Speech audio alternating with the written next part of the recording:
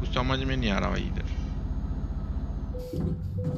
भाई साहब कुछ समझ में नहीं आ रहा भाई इधर। वेरी नाइस ओंकार भैया मस्त गजब। वाओ अरे तुमने पूरा रोड ही ब्लॉक कर दिया भाई मैं राइट से निकलने वाला था पता है क्या? अच्छा। Forty one eleven ten Omkar भाई ने गिफ्ट दे दिया हमको। चलो अभी F7